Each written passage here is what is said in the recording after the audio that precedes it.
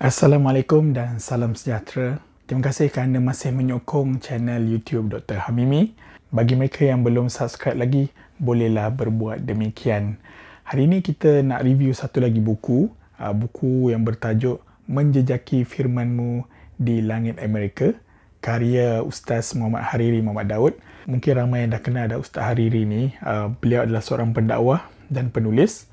Uh, beliau telah menulis 12 buah buku dan pernah mendapat top 5 buku paling popular tahun 2015 serta buku pilihan Perpustakaan Negara 2018. Beliau juga adalah moderator rancangan forum perdana uh, Ewal Islam TV1 dan penyampai intisari Majlis Tilawah Al-Quran Antarabangsa. Jadi secara ringkasnya, uh, saya lihat buku yang dihasilkan oleh uh, penulis ini adalah mendapat inspirasi daripada karya epik Pak Hamka yang berjudul Um, empat bulan di Amerika. Kalau ikutkan dalam buku ni, penulis menyatakan karya Pak Hamka ini, empat bulan di Amerika, menyuntik inspirasi kepada saya untuk menulis naskah kecil ini. Uh, sebenarnya, uh, beliau bukan bercuti di Amerika ni, tetapi uh, penulis berkhusus selama tiga minggu dan pengalaman beliau dituliskan di dalam buku ini tercatat bermula daripada perjalanan di Washington DC, uh, kemudian bergerak ke New York, Ohio, Reno dan berakhir di Seattle. Dan uh, mungkin uh, anda tertanya-tanya bagaimana beliau boleh mendapat peluang ke Amerika Syarikat. Sebenarnya penulis menyertai satu program yang dipanggil International Visitor Leadership Program ataupun dipanggil IVLP. Uh, beliau terpilih sebagai salah seorang peserta uh, untuk menyertai program ini. Jadi saya terus saja nak ajak anda semua untuk kita melompat kepada muka surat ke-26. Uh, muka surat 26 tajuknya uh, ataupun subtopiknya adalah White House simbol demokrasi Amerika. Jadi kalau kita lihat uh, penulis menggambarkan bahawa masyarakat Amerika ni berbangga dengan White House ni sebagai satu simbol demokrasi Amerika. Cumanya um, apa yang nak ditekankan di sini adalah Ah, kita di Malaysia, rakyat Malaysia harus berbangga dengan Istana Negara sebagai institusi tertinggi negara dan Istana Negara adalah lambang negara Malaysia yang berdaulat, simbol keharmonian negara dan jiwa merdeka rakyat Malaysia. Jika kita sendiri tidak berbangga, siapa lagi? Apa yang digambarkan oleh penulis uh, untuk uh, chapter yang pertama ni adalah kalau kita lihat banyak sebenarnya cenderamata ataupun uh, kata orang souvenir uh, White House dan sebagainya WTC yang dijual di Amerika tetapi di Malaysia sendiri kita berbangga ataupun banyak sebenarnya souvenir ni berbentuk menara KL, menara KLCC tetapi jarang kita lihat keychain ataupun souvenir coklat dan sebagainya berbentuk istana negara. Sangat menarik untuk kita fikirkan di situ. Baik, seterusnya muka surat uh, 35 penulis mencatat ucapan-ucapan daripada pemimpin-pemimpin yang besar di Amerika Syarikat. Saya kira ada lebih kurang 14 ucapan. Jadi ini adalah cara Ustaz Hariri ataupun penulis memberikan uh, satu penyampaian santai di dalam bukunya iaitu beliau meletakkan pepatah ataupun kata-kata quotes daripada pemimpin-pemimpin.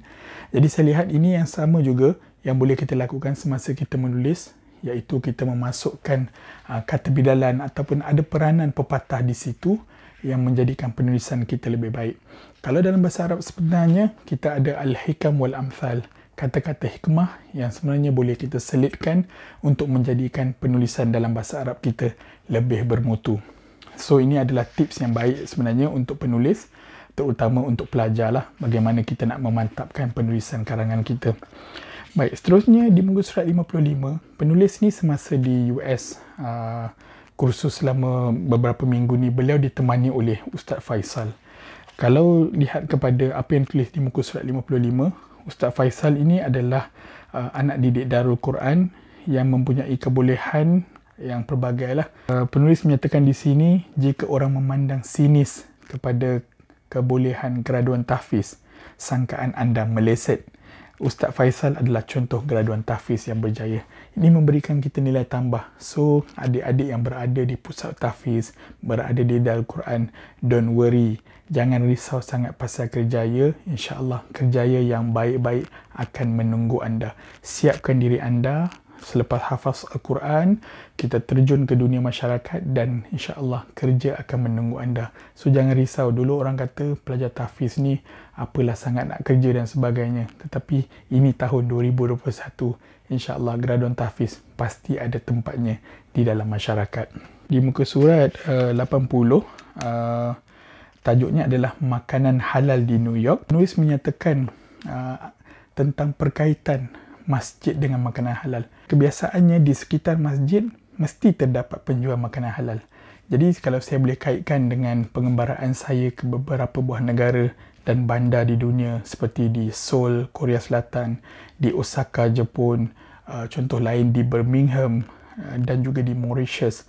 Memang negara tersebut kita susah nak cari makanan halal secara umumnya tetapi apa yang saya buat memang saya ikut banyak orang yang memberi nasihat kepada saya nak cari makanan halal di kawasan yang minoritinya bukan muslim kita cari masjid dulu insyaallah kalau kita dapat masjid pasti ada komuniti muslim yang duduk sekitar masjid itu dan daripada situlah kita mudah nanti nak mendapatkan makanan halal. Selain daripada itu, kita boleh sebenarnya spare lah daripada Malaysia. Kita bawa makanan-makanan yang mudah seperti biskut, roti. Ah, kita bawa, mungkin ada yang bawa serunding, ada yang bawa makanan yang boleh dipanaskan, Maggi dan sebagainya. Itu juga adalah contoh yang baik lah. Tapi kalau kita duduk sana 3 bulan, kita duduk 3 minggu, kalau kita nak bawa makanan tersebut, mungkin akan memberatkan beg kita kerana kuantitinya yang banyak. So cari masjid insya-Allah kita akan jumpa di sana komuniti muslim dan juga makanan halal. Pada muka surat 52, uh, penulis uh, menyatakan bahawa tidak dinafikan peristiwa keruntuhan menara pusat perdagangan dunia di New York menjadi pencetus utama kepada fenomena Islamofobia. So Islamofobia ini adalah fenomena di mana uh, masyarakat dunia ni dia mewujudkan sentimen bencikan agama Islam itu dan juga penganutnya bencikan orang muslim itu sendiri. Malah uh, penulis menyatakan bahawa beliau teringat sewaktu ke London pada tahun 2006 beliau pernah ditahan di lapangan terbang. Mengapa? Sebabnya nama beliau adalah Muhammad Hariri. Nama macam nama Arab kan Hariri. Dan beliau ditanya oleh uh, disoal oleh pegawai polis di Heathrow Airport London are you from Lebanon? Uh, beliau menjawab, no, I'm from Malaysia. Dan satu lagi insiden ketika di Brussels Airport, Washington DC, juga sekali lagi beliau ditahan. Uh, janggut dan misai beliau dibelik. Uh, uh, tetapi pada waktu itu muncullah ada surat daripada Duta Amerika uh, di Kuala Lumpur yang menyelamatkan beliau.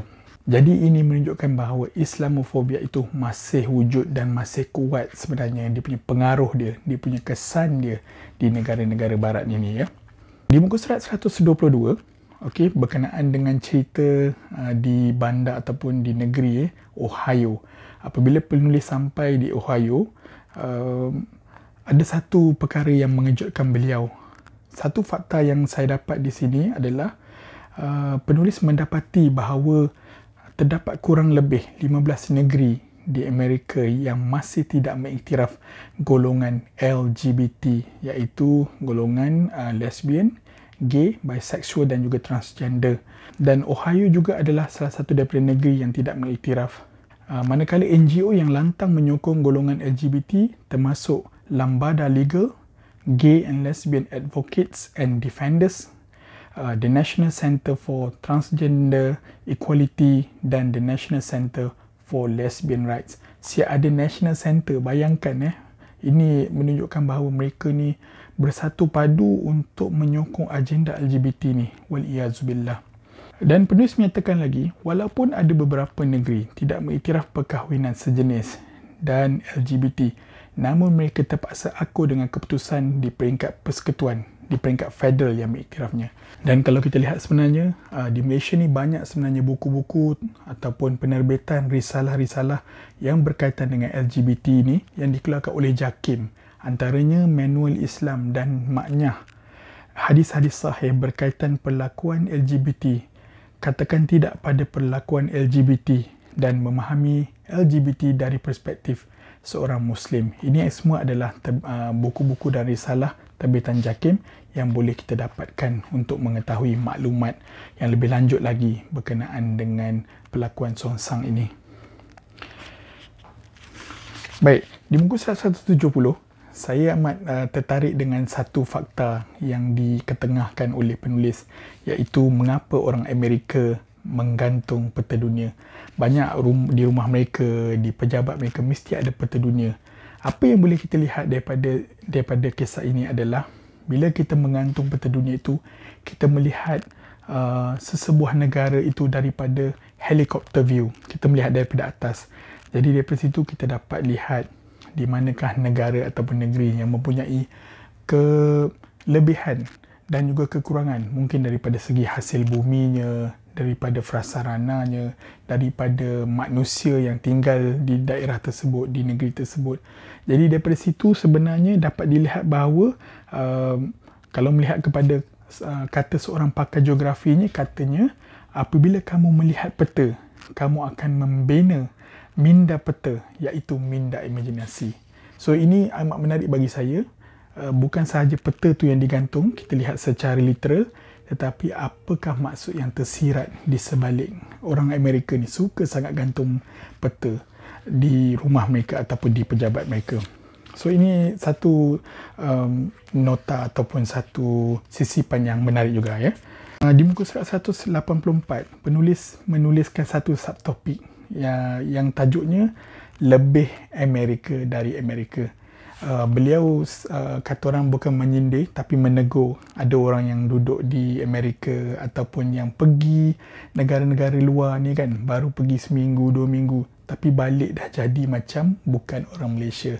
Itulah nak katanya kalau orang pergi Amerika baru pergi dua minggu tiga minggu sebulan balik dah lebih Amerika. Dah jadi lebih Amerika daripada orang Amerika tu sendiri.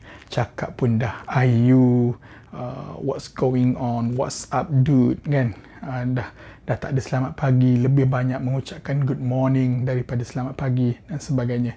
Tidak salah sebenarnya kita nak mempraktikkan budaya ataupun bahasa yang kita dapat daripada negara lain. Tetapi janganlah terlampau uh, berlebih-lebihan dan nampak benda tu seperti dibuat-buat. Sekiranya anda ingin mendapatkan buku ini tadi menjejaki firmanmu di langit Amerika ataupun kita menjejaki kebesaran Allah di negara-negara seperti Amerika ni boleh dapatkan saya akan letakkan link di description nanti jadi saya rasa setakat itu dahulu insyaAllah uh, jangan lupa subscribe uh, channel ini untuk mendapatkan informasi dan juga video yang lebih menarik. Sampai di sini saja. Assalamualaikum.